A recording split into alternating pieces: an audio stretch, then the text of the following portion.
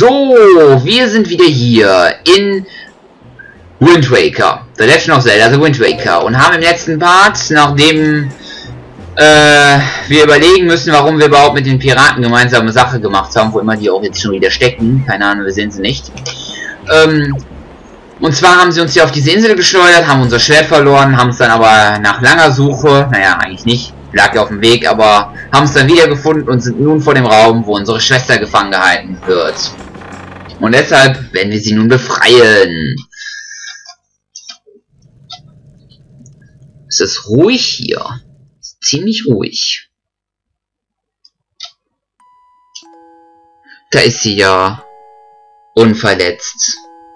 Ist doch schön. Ah. Wunderschön. Äh, was ist jetzt los? Oh, stimmt ja. Den gibt's ja auch noch. Nettes Vögelchen, braves Vögelchen. Quatsch. Voll mit dem Mund rein. Ich hoffe, wir werden jetzt nicht aufgefressen. Wie ein Wurm. Ver äh, verschleppt. Toll. Alle, alle Arbeit, die wir hier reingesteckt haben, umsonst. Super. Äh, was ist denn da jetzt? Warum schmeißt er mich nicht einfach weg oder so? Äh, wer ist das? Boah, wie will da hängen da? Äh, was zum Teufel? Wer oder was ist das? Weg. Scheiße. Super. Ich glaube mal, wir werden wohl nicht mehr lange leben, wenn das so weitergeht. Vielleicht sind wir ja auch schon tot. Wir wissen es nicht. Auf jeden Fall sind wir wohl ziemlich weit geflogen.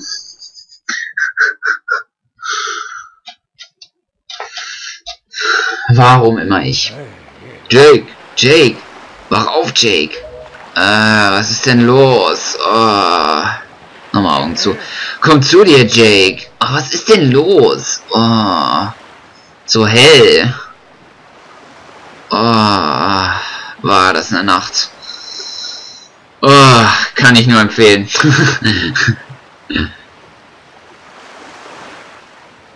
Bist du wieder bei Bewusstsein?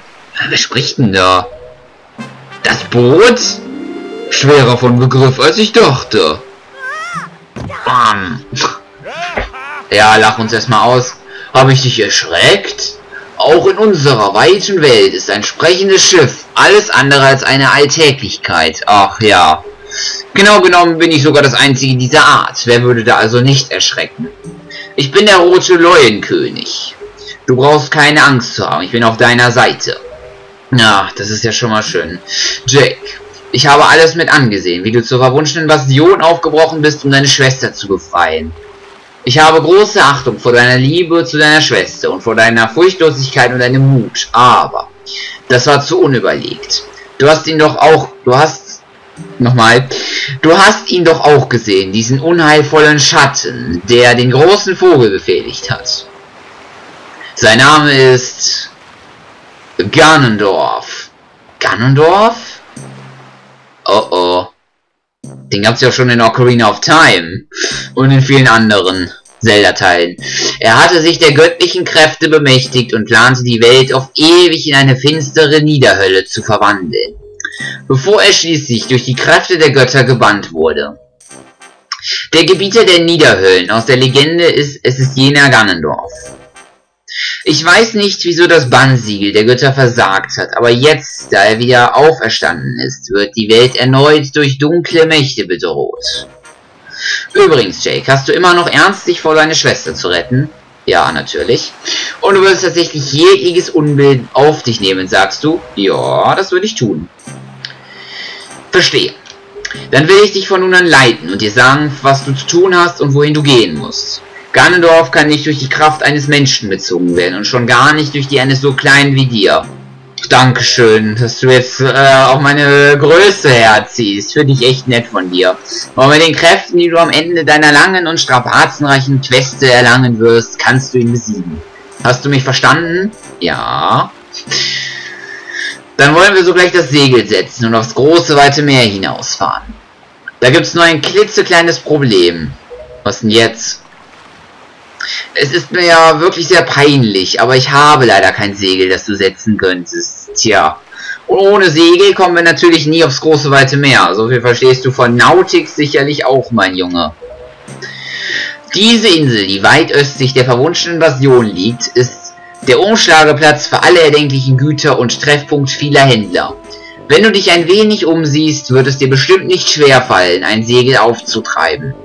Meinst du, ich darf dich also bitten, ein Segel für unsere Sache zu besorgen? Wird gemacht. Ich habe ja nun bin ja langsam gewöhnt, um hin und her gescheucht zu werden. Und das wird ja auch später noch der Fall sein. Auf dieser Handelsinsel findet man die unterschiedlichsten Güter. Beschränke dich nicht nur auf das Segel, sondern rüste dich mit allem aus, was dir sonst noch nützlich erscheint. Aber wir haben keine Zeit für einen gemütlichen Landurlaub. Sobald du mit deinen Besorgungen fertig bist, kehre unverzüglich zu mir zurück. Cool. Finde ich cool. Oha. Joa. Dann gehen wir mal hier auf Entdeckungstour in Portemonnaie. Und ich kann schon mal sagen, diese Insel werden wir nicht äh, zum letzten Mal sehen. Also wir werden hier noch häufiger gehen. Hier auf diese Insel. Schauen wir uns erstmal an, was in diesem Haus hier so abgeht. Gucken wir uns mal die ganzen Häuser an und ob wir Händler sind. Hier sieht das schon mal her. Du hast Bomben. Will ich haben. Gib mir mal ein paar Bomben. Du bist hier Bombenladen. Wenn du nicht umsehen willst, mach das mit Hilfe von diesem komischen grauen Teil da nach rechts, okay? Bomben, 10.000 10 Rubine. Alter. Na, ich glaube wirklich nicht, dass du dir die von deinem Taschengeld kaufen kannst. 20 Stück, 20.000. Jetzt sag mir bloß nicht, dass du dir das leisten kannst. Haha. Du willst es einfach nicht verstehen, oder? Dann kannst du kannst dir das das kannst du dir nicht leisten, du Lümmel. Und jetzt verschwinde. Alter, was geht mit dir ab? Kinder gehören nicht zu meinen Kunden. Verschwinde und zwar schnell. Alter. Ich würde ja fast schon sagen, ich sollte, also ich würde ja fast schon sagen, dass man den anzeigen sollte, wegen Halsamschneiderei. Und öffnen und äh, direkter Beleidigung. Alter. Ich schwöre dir, da, wir werden uns noch sprechen, mein Freund. Der hat doch wohl, der hat doch wohl nicht mehr alle. 10.000 Rubine für eine Bombe. Äh, war das? Ach so, dieser alte. Egal, interessiert uns nicht. Wer das da am Stein? Tja, sowas wohl auch nicht. Was ich auch probiere, es stimmt einfach nicht. Öh. Oh, wie unhöflich von mir.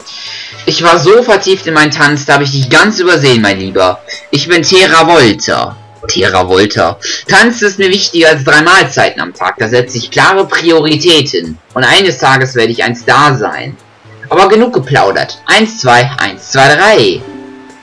Weißt du, vor langer Zeit, habe ich mal jemanden getroffen, der kannte doch tatsächlich, äh, der konnte doch tatsächlich mit seinem magischen Tanz den Tag zur Nacht und die Nacht zum Tag machen. An den Tanz kann ich mich noch einigermaßen erinnern, aber der Rhythmus ist mir irgendwie entfallen. Sag mal, mein Lieber, hast du vielleicht den Rhythmus im Blut? Äh, nee. Komisch. Erst dieser, erst der Kranke mit seinen Preisen, jetzt der. Was erwartet uns denn hier noch? Oh Gott, also langsam muss ich echt sagen, hier sind komische Leute auf dieser Insel. Und ich glaube, wir haben den nächsten Geistesgestörten gefunden. Wer bist du denn? Äh, ja, ich weiß nicht, was der Aufzug soll. Uiuiui, ein grünes Gewand, wie meins. Dazu ein grüner Hut. Bist du etwa eine Fee? Hui! Du hast bestimmt meine telepathische Botschaft empfangen und bist zu meiner Rettung geeilt, oder? Oder? Oder? Du brauchst nichts zu sagen. Tingle weiß auch so Bescheid. Tingle weiß Bescheid. Mein Name ist Tingle. Mein größter Wunsch ist es, eine Fee zu werden. Und ich war die ganze Zeit über auf der Suche nach euch. Aber irgendwelchen Leuten habe ich wohl nicht gepasst und ich wurde in dieses Gefängnis hier gesteckt. So eine Respektlosigkeit. Herr Fee, du musst dich schnell befreien und zu deinem Volk bringen. Oh mein Gott. Womit habe ich das nur schon wieder verdient? Eigentlich möchte ich das ja nicht so gerne machen, aber wir machen es mal. So.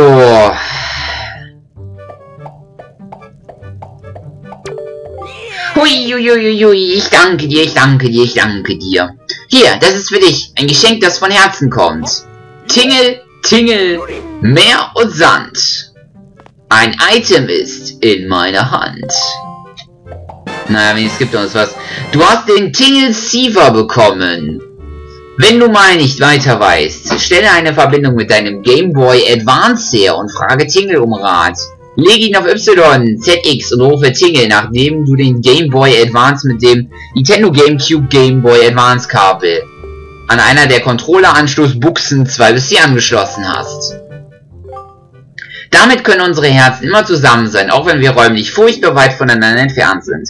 Also dann, ich vertingle mich erstmal, um alle nötigen Vorbereitungen zu treffen, ein Volk zu sehen. Warte so lange auf mich. Äh, was denn jetzt? Ups, hab ich doch glatt was Wichtiges vergessen. Herr Fee, du willst doch sicher mal zu meiner Insel kommen, oder? Entschuldigung, Entschuldigung. Äh, ja. Du hast Tingels Karte erhalten. Was ist das wohl für eine Karte? Sobald du auf dem Meer bist, sieh sie dir mit Hilfe von dem anderen komischen grauen Ding nach oben an und mach dich schlau. Wirf mal einen Dick drauf, sobald du auf See bist. Wenn es um Karten geht, frag einfach den guten Tingel. Vergiss das nicht, okay? wenn es um Karten geht. Alles klar? Oh, und ihr habt es ja schon gemerkt. Ein Wunsch, ihn nie mehr zu sehen, wird nicht erfüllt. So, holen wir uns nochmal diesen einen Rubin. Es waren fünf, aber wir können ja nur noch eintragen. Haben 200 voll. So, und schieben mal hier das nach hinten und gehen hier mal durch. Und damit kann ich euch mal das Geheimnis verraten, warum Tingle eingesperrt ist. Es geht nämlich das Gerücht um, dass er etwas gestohlen hat. Und das, was er gestohlen hat, befindet sich hier. Warum er uns nämlich keinen Hinweis darauf gibt, wer weiß das schon. Auf jeden Fall ist das ein sehr schönes Item. Also auf jeden Fall ein interessantes Item meiner Meinung nach welches auch Bedeutung für das Let's Play haben wird. Ich weiß, weil es ja in Wind Waker die Möglichkeit gibt, jede Spielfigur, sei es Gegner, seien es seien es Personen, seien es Endbosse, seien es was auch immer, zu fotografieren und dafür eine Statue zu bekommen. Also eine Figur die man sich aus diesen Fotos machen kann. Und dafür brauchen wir diese Fotobox, die Tingle gestohlen hat. Du hast die Fotobox gefunden. Benutze sie, indem du sie auf YZX legst. Du kannst bis zu drei Lichtbilder gleichzeitig auf die aufbewahren. Schalte mit der in zu den Bildern und schau dir sie an.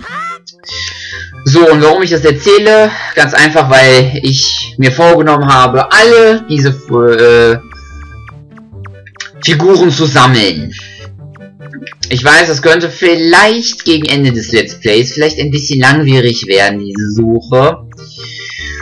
Und vor allen Dingen habe ich auch schon mal nach überlegt, dass es mir nicht gelingen wird, im ersten Durchlauf alle, alle Figuren direkt sammeln zu können. Und zwar vor allen Dingen zwei Fallen. Ne, könnten sogar drei sein. Ich weiß es nicht genau. Ja doch, auf jeden Fall zwei Fallen. Ne, doch, es sind sogar drei.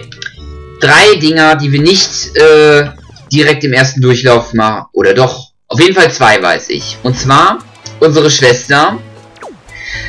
Weil wir sie nicht mehr sehen können. Die kann man nämlich nur fotografieren, wenn man, äh, also auf der Anfangsinsel und den finalen Endboss den ich noch nicht verraten werde, obwohl den eh jeder schon weiß. Aber weil wir ihn erst da sehen. Und dann natürlich am Ende ist dann halt, kommen wir da nicht mehr hin. Ja, und deswegen haben wir nur die Wahl, das dann im zweiten Durchlauf zu machen. Aber da werde ich ja nicht mehr so viel machen. So, und da wir ein schönes Item von Tingle bekommen haben, werden wir das mal ausprobieren. So. Und da ich ja vorbereitet bin, werde ich mal dieses schicke Game Boy Advance Gamecube Kabel oder wie auch immer das heißt, anschließen und werden mal eine Verbindung mit Tingle herstellen, weil ich das auch mal zeigen will. Natürlich kann ich den Bildschirm euch nicht zeigen, so technisch, auf solche technischen Möglichkeiten kann ich leider nicht zurückgreifen, aber wenigstens kann ich das hier machen. Und außerdem gehört es dann auch dazu für die Figurensammlung. Weil wir mit Hilfe von, ähm, ihr ihn? Der Game Boy Advance Bildschirm. Weil wir nämlich mit Hilfe dieser, dieses Tingle-Sievers noch Start, andere Start, goldene Statuen sammeln müssen, die uns eine weitere, einen weiteren Charakter freischalten. So, aktivieren wir mal Tingle. Tingle rufen? Ja. Verbindungsaufbau. Und wie ich jetzt sehen kann, ihr nicht, aber ich kann es sehen. Äh, es geht los auf dem Game Boy Advance. Ein Verbindungsaufbau wird aufgebaut. Und Ting ist angekommen. Ting ist auf deinem Game Boy Advance Bildschirm erschienen. Hallo, äh, lass mich in Ruhe, du komisch. Äh, wo drückt denn der Schuh? Oh, oh, meine über alles geliebte und einzige Tochter Dolores wurde von diesem Ungeheuer der verwunschenen Bastion verschleppt. Keiner weiß, was die sich dabei denken. Sie durchstreifen die ganzen Lande und verschleppen lauter kleiner Mädchen, die noch ihre Milchzähne haben. Verfext, verhext nochmal. Was wollen die nur von meiner Tochter? Geld ist bei mir ja wirklich keins zu holen. Ich flehe dich an, bitte rette meine Tochter, ich flehe dich an. Zeige sie diesen verdammten Halunken von der verwunschenen Bastion. Ja, das ist noch so ein komischer Alter, der... Was haben wir von uns? Na sowas, Herr Fee. Hast du mich denn schon vermisst? Äh, nein. Siehst du Tingels Gesicht zu deinen Füßen? Ja, das ist dieser komische grüne Cursor, den ihr da unter ihm sieht. Dank dem Tingle Receiver bin ich so immer bei dir. Übrigens, Herr Fee, ich will testen, ob du wirklich die richtige Fee für Tingle bist. Das müssen wir halt am Ende, am Anfang da machen, aber... Untersuch als erstes mal die Gegend vor dem Briefkasten. Kein Problem. Untersuch das vor dem Briefkasten einfach mit dem A-Knopf. Was hören wir? Achtung. Moment. Hier, jetzt reagiert er und das meint er an diesem Briefkasten. Hui, sehr gut, aber das war noch nicht alles. Hier in Portemonnaie gibt es drei Bänke. Wenn du in meiner Reihen wenn du in meiner Reihenfolge die Bänke findest, dann gratuliere ich. Unsere Bande werden dann noch stärker. Öffnest du aber eine Tür, war all dein Bemühen vergebens. Also geh als erstes zu der Bank, die von hier aus am nächsten ist. Und nicht weiter vergessen, lass Tingle zu seinen Füßen sein. Bereit? Und los! Ja, diese Störung, die er hat, überträgt er auch hier. Die erste Bank ist natürlich ganz simpel. Eigentlich sind alle drei Bänke auf unserem Weg, von daher ist das nicht so wild. Klasse, aber das war nur zum, Au zum Warmwerden. Als nächstes geht's zu der Bank mit mehr mit Mehrblick. Aber vorher rede ich mit ihm hier. Mit dem Kollegen hier. Ich komme aus einem fernen Land, fernen und kalten Land, wo die Eiswinde wehen. Mein Weg hat mich über die verwunschenen Meere, über das verwunschene Meer bis hierher nach Portemonnaie geführt. Muss verstehen, meine Sprache ist nicht so ganz gut. Unterwegs geriet ich in einen fürchterlichen Sturm und mein Boot wurde zerschmettert. Doch mysteriöserweise blieb es dabei unversehrt. Und ich umschwar, und wie ich unschwer erkennen kann, bist du ein Reisender, nicht wahr? Du will, dann willst du mir doch bestimmt diesen meinen einzigen Schatz abkaufen, nicht wahr? Willst du es? Die Menschen dieser Stadt wagen sich nicht aufs gefährliche Meer hinaus. Die haben gewiss nicht vor, es mir jemals abzukaufen. Ich bitte dich, ich will mich hier als Händler niederlassen und dazu brauche ich dringend Geld. Wir klingen 80 Rubine für dich. Klingt gut. Da danke ich dir aber recht herzlich. Ja, ja, 80 Robine, das ist die Rettung in der Not. Damit habe ich endlich ein Startkapital und starte durch ins Geschäftsleben. Hier, mein Freund, es soll jetzt hier dir gehören. Und er gibt uns das Segel. Lege es als X und setze es, wenn du dich an Bord des Bootes befindest.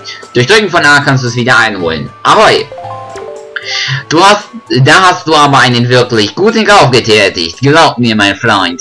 Immerhin verdanke ich diesem Bootsegel mein Leben, da gibt es keinen Zweifel. Hoffentlich wird es dir auch so wertvolle Dinge erweisen.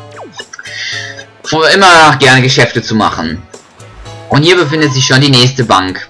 Klasse, das war richtig. Aber die dritte Bank musst du selber finden. Ja, und die ist auch nicht schwer. Gehen wir einfach die Treppen hier hoch. Und dann ist schon hier die dritte Bank. Jawohl, klasse, ich darf gratulieren. In der Tat, du bist eine sehr schlaue Fee, die Tingle aufmerksam zuhört. Und na, dann findest du bestimmt den Rubin, den ich an diesem Platz irgendwo versteckt habe. Beweg den Cursor mit Steuerkreuz und finde ihn. Ich zeige euch mal eben, wo der ist. Moment, ich muss mal kurz gucken. Äh, Moment, ich zeige euch mal, wie ich mit dem Cursor hier lang gehe. Achtung. Muss mal kurz selber mal gucken hier, wo das ist. Hier ist es. Ich gehe nochmal hin, damit ihr das sehen könnt. Hier, genau hier ist ein Rubin. Hui, du bist, äh, du bist, da bist du ja. Also, ich habe noch einen letzten Wunsch an dich. Der ist zwar keine Rubin erschienen, aber ist ja egal. Bitte besänftige Tingels langjährigen Groll. Sei doch so gut und liefere, äh, liefere eine Tingelbombe an den Tür meines ehemaligen bösen Gefängnisses ab. Lass Tingle mit erst seinen Füßen erscheinen und drücke vor dem Gefängnis B. Und nicht B mit dem Schwert, sondern auf dem Game Boy Advance B. So, dann machen wir das doch nochmal. Und zwar genau hier. Ah ja, jetzt müssen wir hier dann mal... Moment. Muss mal eben ein bisschen weggehen. So, ich will ja jetzt nicht die Bombe abkriegen. Und achtet mal jetzt auf den Rubinstand, wenn ich jetzt eine Bombe auswähle. Ja, das kostet Geld. Er ist einmal einfach jemand, der einfach nur Geld haben will. Ich bin ja so froh, du hast Tingels Wunsch wahr gemacht. Du bist wirklich eine echte Fee. Wahnsinn, ich könnte Luftsprünge machen, Herr Fee. Ab nun wird Tingle deinen Wunsch mit, deine Wünsche mit dem Tingle-Siever erfüllen.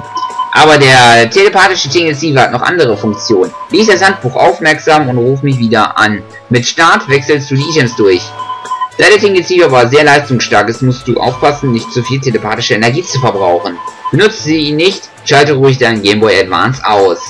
Ruf mich doch das nächste Mal von See aus an. Bis dahin, mach's gut, lieber Herr Fee. Ja. Wozu brauchen wir das? Keine Ahnung, aber er hat uns noch mal einen Krog hier dagelassen. Mit einem roten Rubin. Ist doch schön.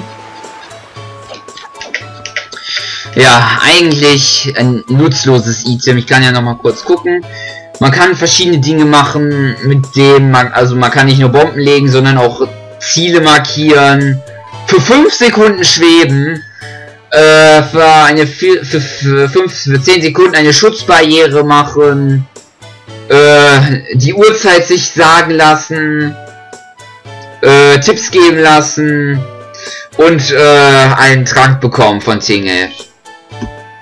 Aber eigentlich unnötig. Aber ich brauche es ja wegen den Statuen. So. So, dann werde ich jetzt mal mit dem Kollegen hier sprechen. Weil er hier... Na nu. Aber das ist ja eine ganz formidable Box, die du da hast. Ich konnte natürlich nicht ahnen, dass du auch ein Lichtbildliebhaber bist. Unter Lichtbildhabern gibt es keine schlechten Menschen. Du bist in mein Haus jederzeit willkommen, Freund. Ja, und äh, ihm wurde Tingles, also Tingle hat von ihm die Fotobox geklaut. So, ich gehe da nochmal hier kurz rein, die Bilder angucken. Müssen wir machen für später. Für die Figurenmission. Hoho, eine schöne Aufnahme, nicht wahr? Aber du brauchst dich nicht zu erschrecken, Freund. Bla bla bla. Dankeschön für die Erklärung. Wir gehen weiter. So, ich würde sagen, wir haben alles, was wir brauchen hier in Portemonnaie. Wir haben das Segel, wir haben sogar noch einen Tingle-Siever bekommen. Mehr oder weniger nutzloses, nutzbringendes Item und können uns nun wieder auf zu unserem Bötchen machen. Zum roten Leuenkönig. Es gibt hier auch noch so eine Menge, was man hier machen kann. Hier gibt es noch einen Trankladen und da gibt es noch äh, eine Bar und, äh, und noch vieles mehr. Und eine Schule, aber das ist jetzt erstmal unwichtig. Ja, dein Anliegen habe ich auch schon gehört.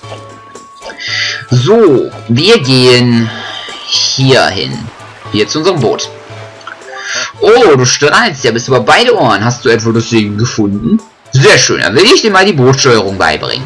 Nähere dich dem Boot von der Seite und drücke A an Bord, um an Bord des Bootes zu gehen. Wenn du das erhaltene Segel auf YZX legst und benutzt, wird es auf dem Boot gesetzt. Das Boot wird vom Wind im Segel angetrieben. Behalte deswegen immer die Windanzeige gelber Pfeil hinter dem Boot im Auge. Manövriere das Boot mit Hilfe von einem komischen grauen Teil, so dass es immer Rückenwind hat. Möchtest du das Segel einholen, drücke A, probiere es ruhig auch, auch, auch mal, wenn du nur langsame Fahrt machen willst. Und konntest du mir folgen? Aber natürlich. Der einzige, das einzige, was dir auf der weiten See als Navigationshilfe dient, ist eine Seekarte. Ich habe einen Zielort auf der Seekarte eingezeichnet. Solltest du dich auf hoher See verirren und nicht wissen, wo du bist, drücke, drücke dieses andere komische graue Ding nach oben und überprüfe dein, deine Position auf der Karte. Gut, wir haben Westwind. Ideale Bedingungen also, um nach Osten zu segeln. Setze das Segel und los geht's. So, und ich würde sagen, dann könnt ihr euch schon auf den nächsten Part freuen, weil dann geht's aufs große, weite Meer hinaus. Ja, und da würde ich sagen, bis zum nächsten Part. Ciao!